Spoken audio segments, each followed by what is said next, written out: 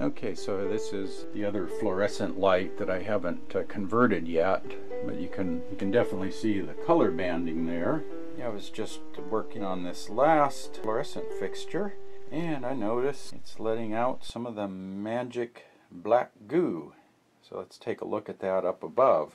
So you can see this uh, this guy looks like it's pretty discolored. It's probably been running pretty darn hot. And it's uh, hot enough to melt some of the there's probably some potting compound or something in there.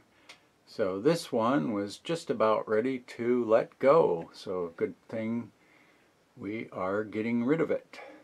I'll just uh, do the same thing.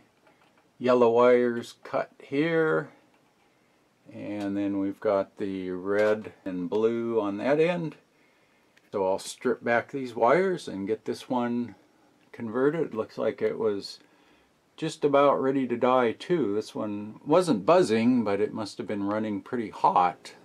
Okay, YouTube got these lights converted there. Went from the T12 fluorescent over to the T8 LED. And this is just a little test looking for flicker. I'm not seeing any of the color banding like I was with the fluorescent tubes. There might be just a little bit of banding in the video. I see a little bit of bright and dark banding, but it's not very noticeable and yeah, I've been quite happy with these lights. And I've actually been running these LED tubes for well over a year now, about 13 months, and haven't had any problems with any of the LED segments going out, no driver problems, so they've been working quite well.